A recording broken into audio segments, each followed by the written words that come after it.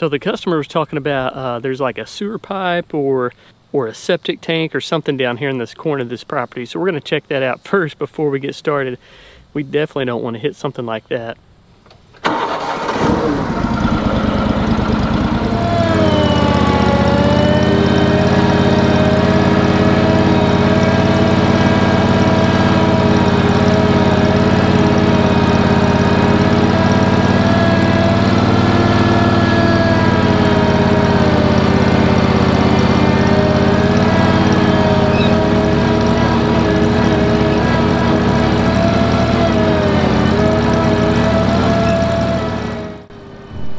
Alright guys, gonna cruise on here to the back, see if we can find anything. The way it sounds, sounds like there's a septic tank or something out here back here in the back, so I'll cruise along, try to find it.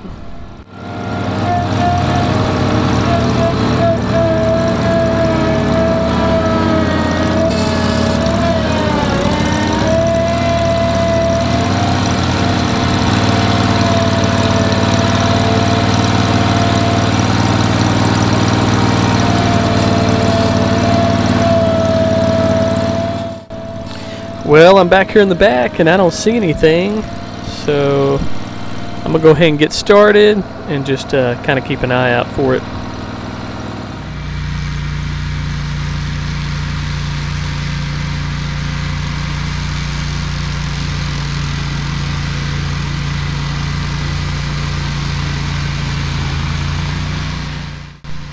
Alongside this fence right now, trying to take it easy, check it slow, because uh, you never know what you're going to find next to a fence like this.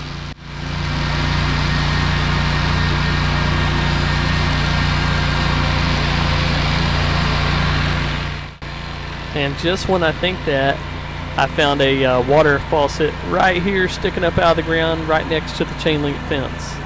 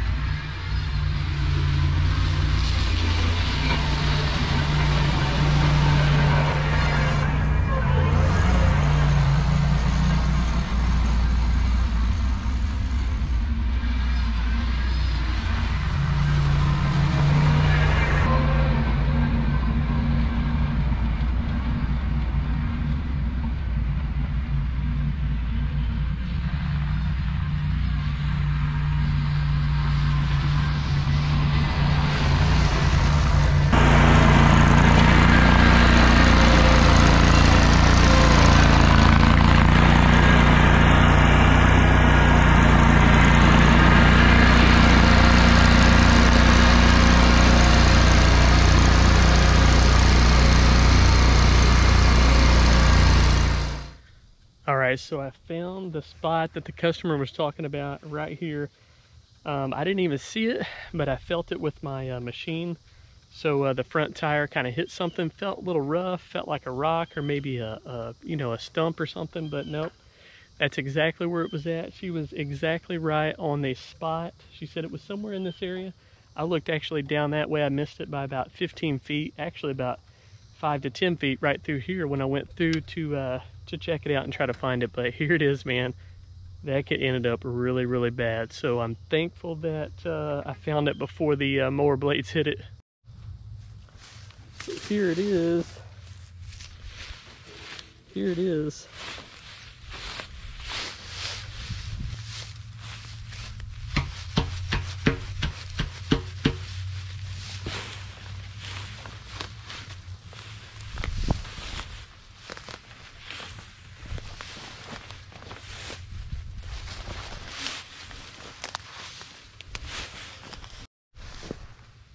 All right, guys, so there it is. That could have been a really, really bad news for the uh, Ventrac and the Tough Cut.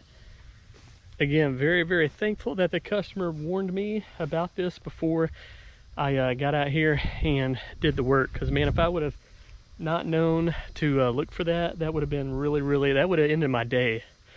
I'm sure I would have hit that and things would have been really, really bad. So, thankful to have uh, heads up on that. I already found a retaining wall over here. Let me guys, let me show you guys that real quick. So I'm mowing over here. The first, the first um, pass that I make, look what I find.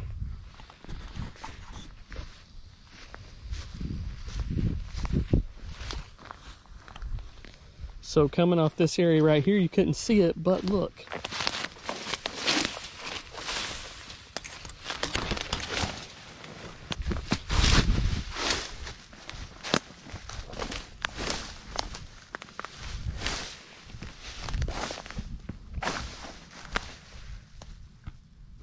There it is. Drops off a good two to three feet about three feet from that retaining wall down to the ground so. That could have ended my day real quick as well so got to always keep your eyes open and be aware of what you're getting into ease into it real slow and uh, hopefully you won't do any damage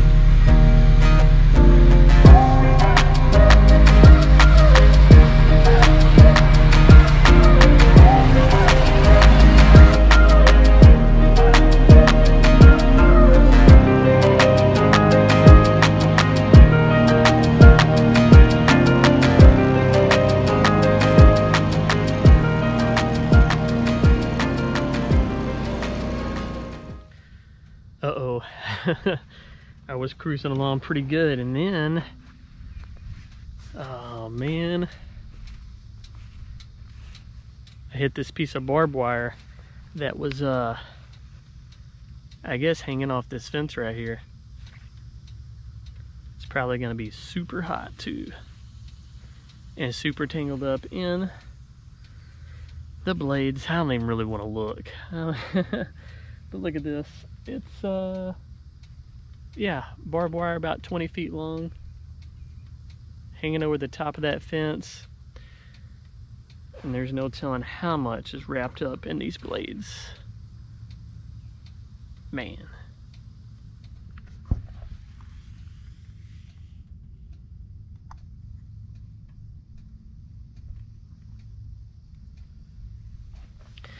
So I can tell it's wrapped at least a few times. Um, yeah. So my buddy Andrew, he just picked up a uh, a Ventrac not too long ago, and I told him, I said, man, I need to throw some uh, wire pliers, some bolt cutters, something in the box truck in case something like this happens, so I can, uh, you know, cut that wire. And guess what? I don't think I have anything in there, so we're gonna go to the box truck, check it out. Hopefully I have something that will cut that barbed wire. If not, I'm in trouble.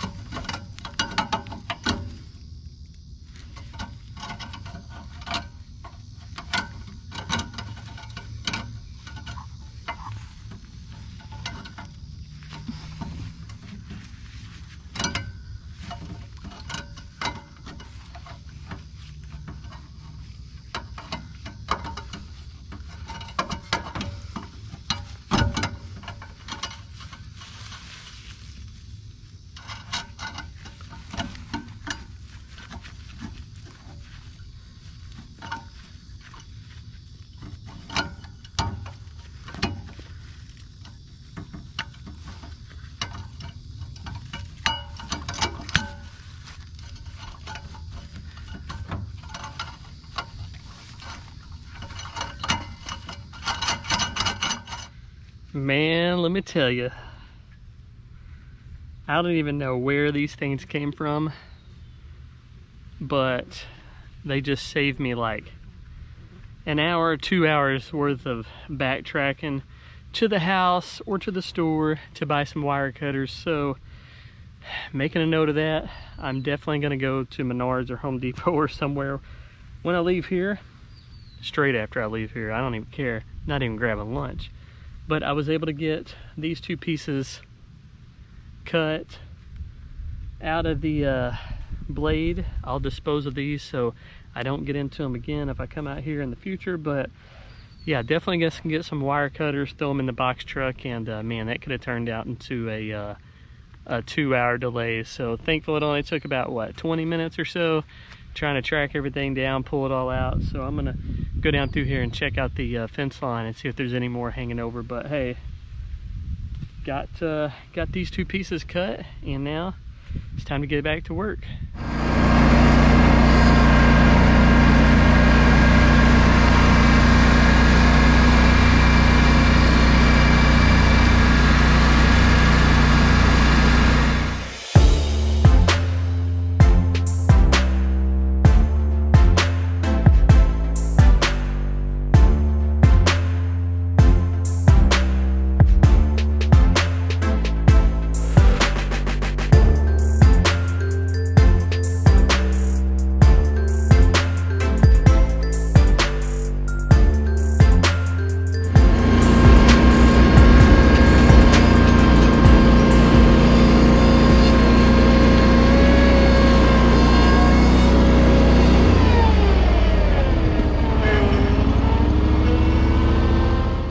One reason you don't want to get super close to the uh, fence line when you're making your first pass close to the fence because there's a barbed wire fence here on the uh, fence post and then about three foot out from that there is a woven wire it looks like that's uh that's just kind of been uh, fell down over the years. So if I would uh, if I would have went by the barbed wire fence the fence post and I would have tried to get right up close to it I would have got right into that woven wire let's see if you guys can see it in the video real quick so let me hop off real quick here like I was saying here's the fence back in here you see the fence post there, fence post there, and then you have this woven wire. Look, you got this woven wire down here, and it's like three feet away from the barbed wires way over here. So got the barbed wire way over here, woven wire.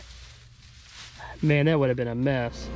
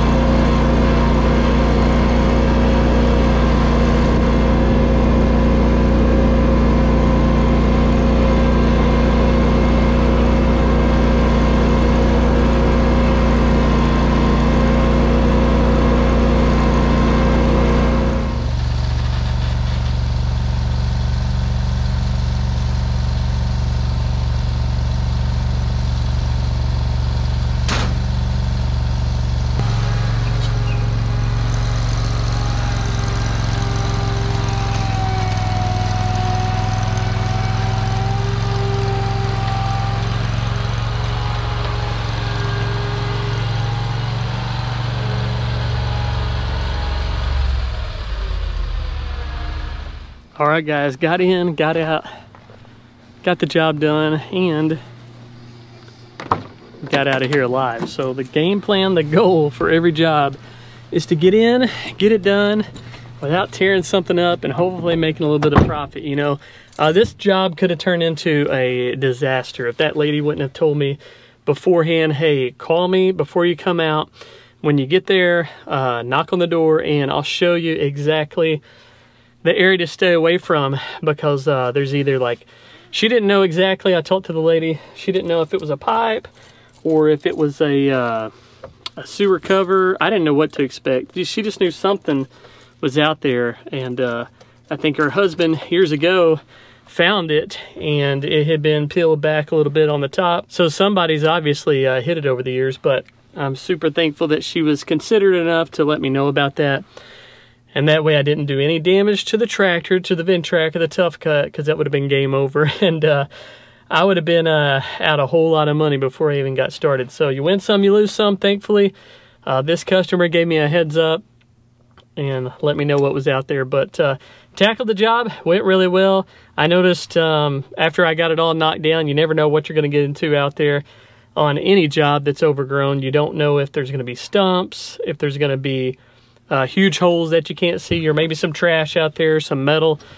You just never know what you're going to get into. So uh, I did find that barbed wire fence. Uh, it was it was uh, under there. It could have been a lot worse as well, but uh, thankfully it only wrapped a couple times, and I was able to cut it out of there and get it out and you know move on. But you never know, man. You never know. So when you get into these jobs, you got to go into it thinking, you know, if if if you've done it before you can uh, price accordingly. But if you've never done it, you might take you twice as long. You might get into something where it tears up your equipment, and you just you just don't know. There's too many unknowns. So if you're running the Ventrac, running the Tough Cut, be sure to price it accordingly because um, that equipment is not cheap. I know that tractor, uh, just the tractor and the uh, Tough Cut itself, you're up into 30,000, you know, getting close to 40,000 before you know it. It's an expensive piece of equipment and when you break something, it's not cheap. I'm gonna go grab some lunch, man.